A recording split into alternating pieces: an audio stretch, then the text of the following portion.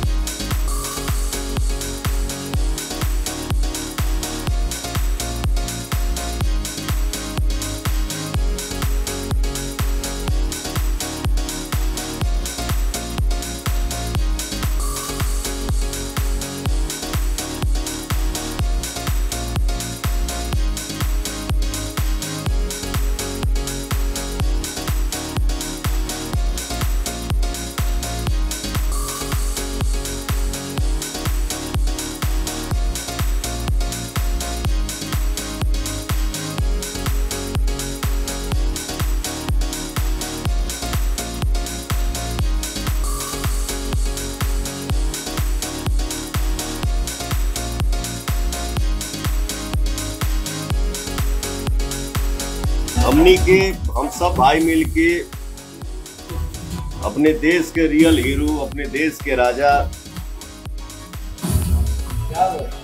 देश के